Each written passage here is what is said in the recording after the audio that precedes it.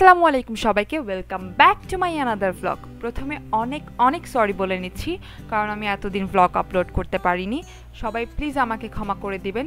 So সবাই কেমন আছেন? আশা করছি সবাই অনেক ভালো আছেন। আমিও খুব ভালো আছি। আমার এবারের জার্নিটা কিন্তু অনেক ইন্টারেস্টিং ক্যাপশন পড়ে কিন্তু আপনারা অলরেডি বুঝে গিয়েছেন। ক্যাপশনে দেওয়া আছে জার্নি আনলিমিটেড সো কেন জার্নি আনলিমিটেড সেটা আপনাদের একটু পরেই বলছি। আমরা আজকে যাচ্ছি লা ইউনিয়নে।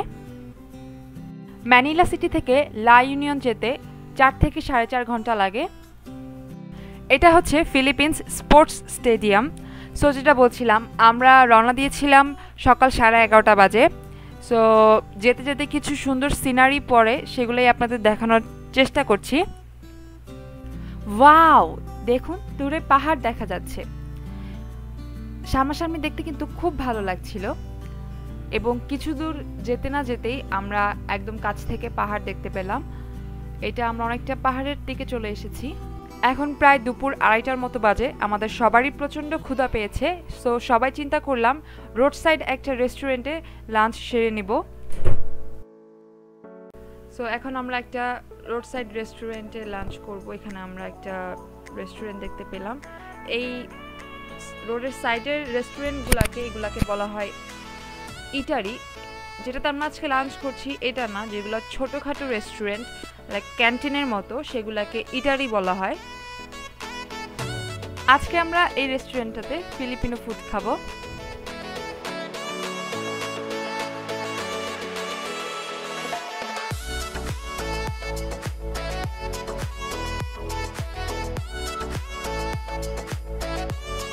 প্রথমেই আমি আপনাদের রেস্টুরেন্ট একটু দেখিয়ে দিচ্ছি।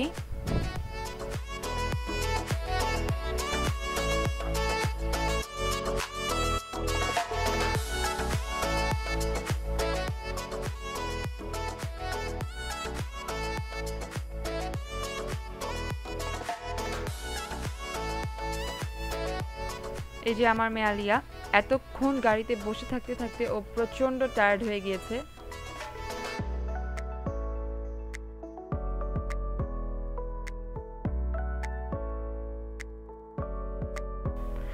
এই তো আমাদের খাবার চলে এসেছে। লম্বা যে মাছটা দেখা যাচ্ছে, এটা হচ্ছে মাগুর মাছ ফ্রাই আর এটা হচ্ছে ডিম আর বেগুন দিয়ে একটা ফ্রাই আর এটা হচ্ছে বাংস ফিশ ফ্রাই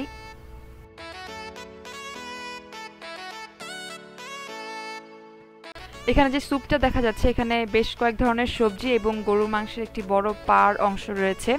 এই স্যুপটা খেতে খুব মজাই ছিল। এবং এখানে একটা কয়েক ধরনের সবজি এবং সেই সাথে চাটনি এবং একটা পেঁপের আচার রয়েছিল। খেতে অনেকটা আমের আচারের মতো এবং ওরা সেই সাথে কাঁচা আম সার্ভ করেছে। এটা অনেকটা টক মিষ্টি ছিল আমটা খেতে। ভাতের সাথে খেতে কিন্তু খুব মজা লাগছিল। আমরা এতগুলো খাবার অর্ডার দিয়েছিলাম। আমাদের লেগেছিল মাত্র এক হাজার পেসো। সো খাবার বলতে গেলে মোটামুটি ভালোই সস্তা ছিল। সো খাবার যেহেতু সব চলে এসেছে, দেরি না করে ঝটপট খাওয়া শুরু করে দিচ্ছি। এখান থেকে খেয়ে আমাদের আবার বের হতে হবে। আমি বেগুন ডিমের ভাজাটা দিয়ে তার সাথে পেঁপের আচার এবং গরু মাংসের যে স্যুপটা ছিল সেটা দিয়ে খাচ্ছিলাম। আমার কাছে এটাই বেশি ভালো লেগেছে এবং তার সাথে সাথে মাঝে মাঝে কাঁচা আমটা চিবিয়ে খাচ্ছিলাম। খুবই অসাধারণ লাগছিল আমার কাছে। আর বাকি আইটেমগুলো মোটামুটি ছিল।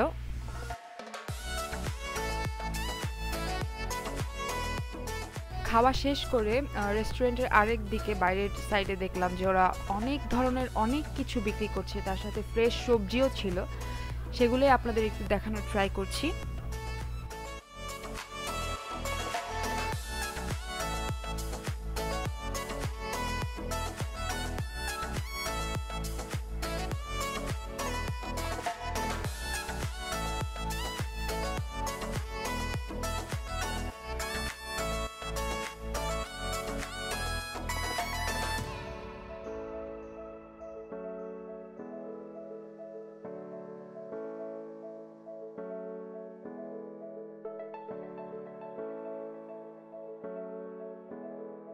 এবং সেই সাথে রেস্টুরেন্টের পিছনের দিকে ছবি তোলার জন্য একটা সুন্দর জায়গা ছিল। এখন আমাদের যে হোটেলটা বুক দেওয়া হয়েছিল, সেই হোটেলের উদ্দেশ্যে আবার বেরিয়ে পড়েছি। হোটেলে যেতে আরও ওয়ান আওয়ার লাগবে এবং আমরা হোটেলে প্রায় চলে এসেছি। দুঃখের বিষয় হচ্ছে যে হোটেলটা আমাদের বুকিং দেওয়া হয়েছিল, হোটেলটা একদমই বাজে ছিল।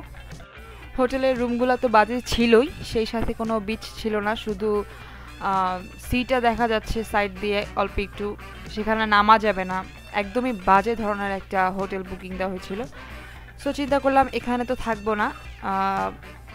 সো আমাদের সাথে আরও যারা এসেছিল, তারা হোটেল খোঁজার উদ্দেশ্যে বের হয়ে গিয়েছে। যেহেতু এটা ট্যুরিস্ট প্লেস আশেপাশে অনেক হোটেল রয়েছে। সো সবাই হোটেল খুঁজতে গিয়েছে এবং সেই ফাঁকে আমরা এখানেই বসে যাচ্ছি এই হোটেলটাই বসে আছি। সেখানে অনেক আমের গাছ আছে। আলিয়া একটা ফাঁকা জায়গা পেয়ে দৌড়াচ্ছিল।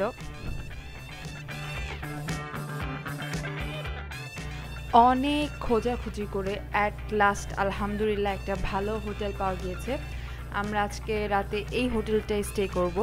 যেহেতু রাত রাত হয়ে গিয়েছে সো হোটেলের ভিউটা আমি কিছুই দেখাতে পারছি না। সকাল হলে আমি আপনাদের হোটেলের ভিউটা দেখাবো। আর এই তো আমরা আজকে রাতে এই হোটেলেই ডিনার করছি। এক বাঙালি ভাবি গরু মাংস রান্না করে নিয়ে এসেছিল এবং তার সাথে ফিলিপিনো কিছু ফুড অর্ডার করা হয়েছিল। এই হোটেলেই আমরা খাচ্ছি আজকে। এই তো আমি আমার ডিনারটা শেষ করে নিচ্ছি। বাই ওয়ে গরু মাংসটা কিন্তু অনেক মজা হয়েছিল। আর এই গরু মাংসটার কারণেই আমি রাত্রে খেতে পেরেছিলাম। কারণ ফিলিপিনো ফুড খেতে আর ভালো লাগছিল না। যেহেতু আমরা বাঙালি, আমরা খাবার একটু বেশি মশলা পছন্দ করি। আর ফিলিপিনোরা, ওরা তো খাবারে বেশি মশলা দেয় না। সো আমার ডিনারটা শেষ করে আমি রুমে চলে যাব। দেন সকালবেলা ইনশাল্লাহ আমি আপনাদের পুরো হোটেলটা ঘুরিয়ে দেখাবো।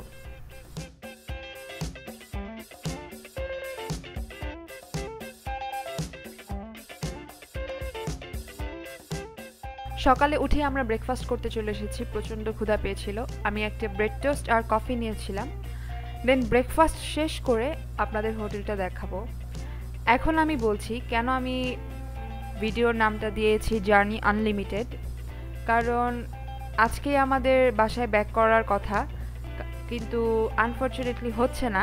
এটাও একটা গুড নিউজ কারণ আগের দিন রাত্রেবেলা সবাই বসে কথা বলছিল যে এখান থেকে বাগিও সিটি মাত্র দুই ঘণ্টা দূরত্ব।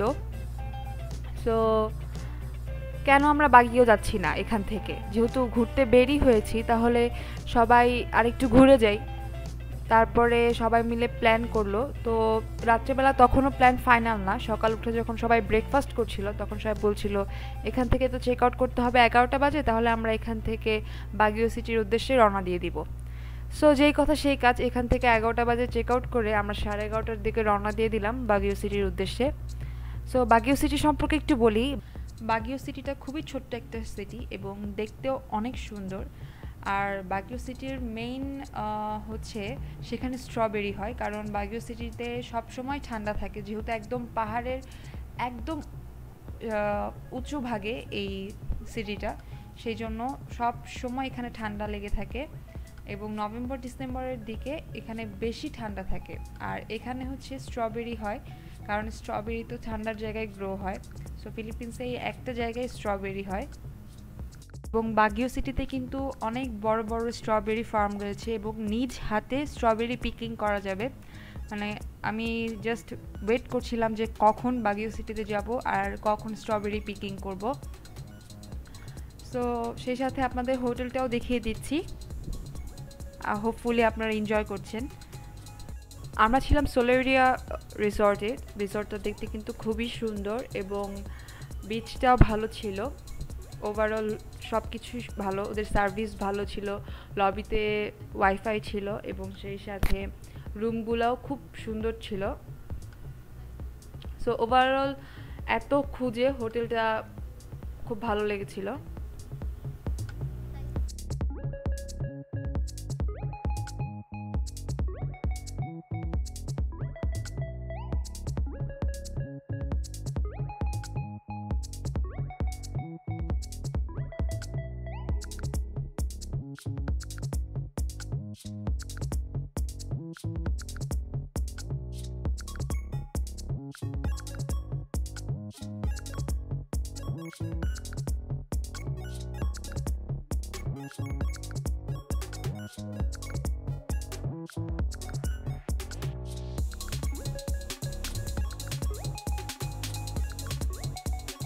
এখন আমি আপনাদের হোটেলের রুমটা দেখাচ্ছি। আমার কাছে হোটেলের রুমের বারান্দাটা সবচেয়ে বেশি ভালো লেগেছে, কারণ সেখান থেকে সি সাইডটা একদম সরাসরি দেখা যাচ্ছিল। এখন আমরা এখান থেকে চেক আউট করে বাগিও সিটির উদ্দেশ্যে রওনা দিয়ে দিব। বাগিও সিটির ইন্টারেস্টিং জার্নিটা দেখার জন্য ওয়েট করুন নেক্সট ব্লগের জন্য।